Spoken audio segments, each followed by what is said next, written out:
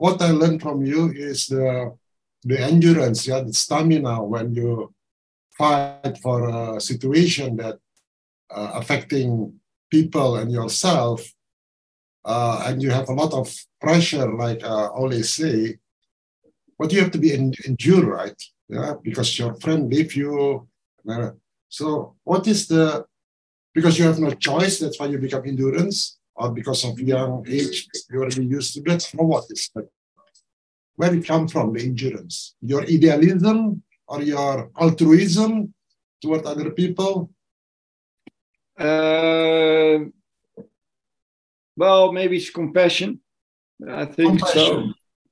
Because uh, most people uh, are just not capable of uh, certain doing certain things, and uh, uh, and you see people suffering. I saw people dying, literally young people. said you have serious symptoms of poisoning, of organophosphate poisoning, and then just just do a check for a DNA check, and then they, they were like, yeah, yeah, no, I wait, I wait. You know, it's like people are just in a in a in a, in a low, uh, well, not people, but uh, so it was also it is also for other people, and uh, just uh, uh, sad to see. And then uh, a mixture of anger with this company who's just ignoring it despite all the evidence, especially these doctors working for the company.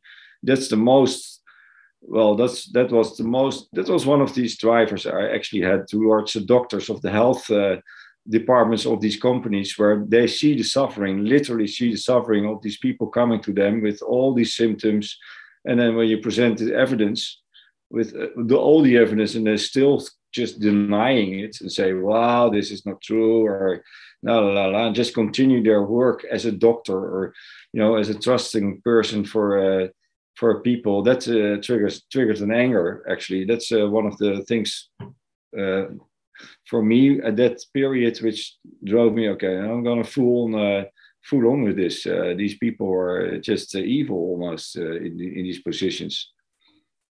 So um, yeah I, I, think it's uh, this mixture of anger and compassion in a certain way so very good. Compassion, this is first, and then second, anger. Yeah. So the good combination. So compassion and anger can create courage. You Gimana kun?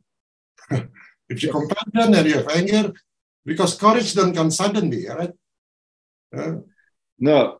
Well, I you know I'm not actually very. I consider not. I don't consider myself as a very courageous person. Uh, I I really don't. Uh, I mean, I I uh, when I was in the army, uh, certain things I really didn't like, and I was fearful. A lot of fears, uh, uh of course. So, uh, or uh, I'm and I'm sort of lazy, so I wouldn't consider myself as a as a real courageous person.